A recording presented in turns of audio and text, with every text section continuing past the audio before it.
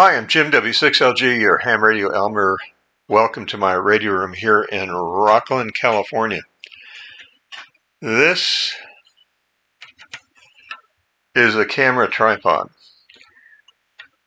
Well, it's more for lights because it has a 1 quarter 20 thread and it's over 8 feet tall. It's like 8 feet 4 inches. Bought it from B&H Photo in New York City. It's $27.95 free shipping. So 28 bucks.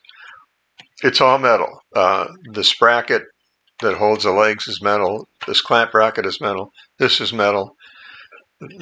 Each of these tubes now they're steel, and that if I could find this in aluminum, it would be a better device for me. Um, so I'm going to turn it into a tripod for amateur radio use. I'm going to put a um, a coax connector down here at the bottom and a place to attach radials. So the feed point will be here at the bottom uh, and radials will stretch out. Now this particular tripod is spring loaded. This one I think has already slipped out and um, it will hold a fair amount of weight. Its legs stretch out to approximately three feet between each of the legs. So it's pretty broad. Um, it'll be good in the wind.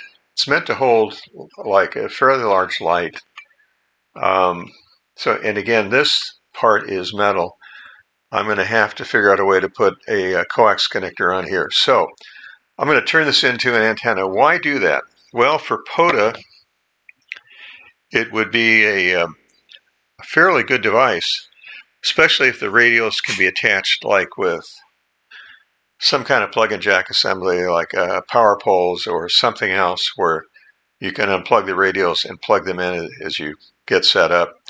Um, an 8 foot whip on top of it, a CB whip, which should put it on 20 meters. Uh, a shorter whip would put it uh, to 15. No whip, it'll probably hit 10 meters. Um, as to whether or not it needs matching, that remains to be seen may be able to make it work without any extensive matching. Um, although I think at 20 meters it may require something.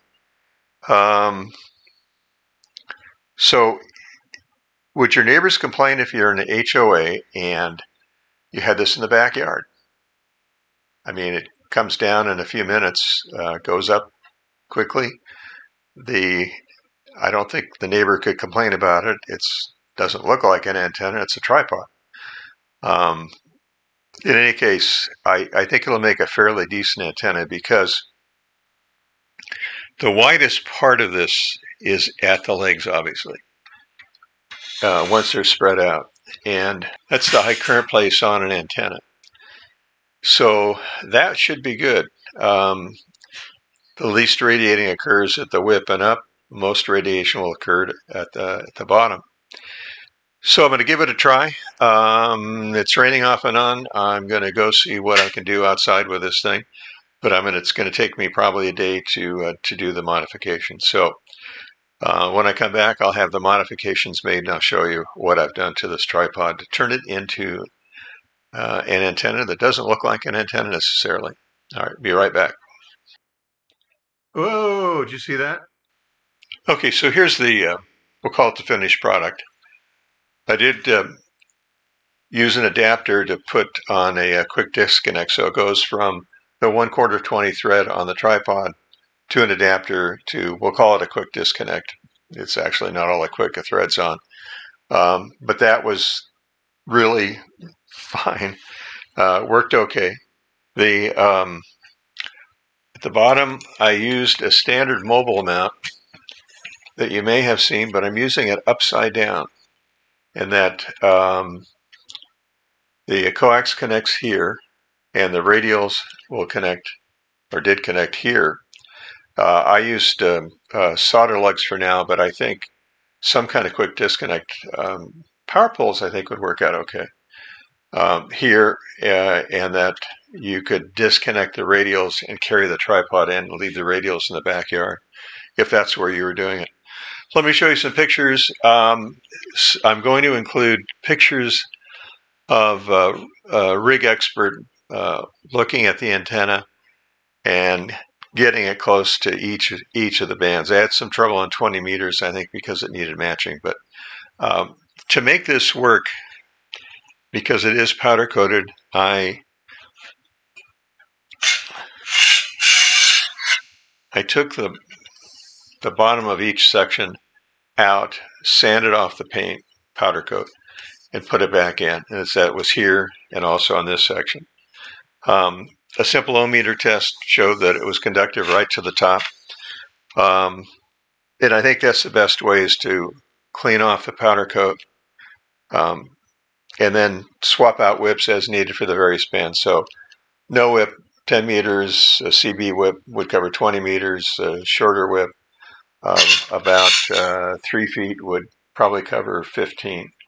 And um, it worked well. I compared it to my Yagi and it was uh, pretty good in terms of uh, reception. So let me show you some pictures I took out in the backyard. Again, it was starting to rain, so I had to hustle on some things.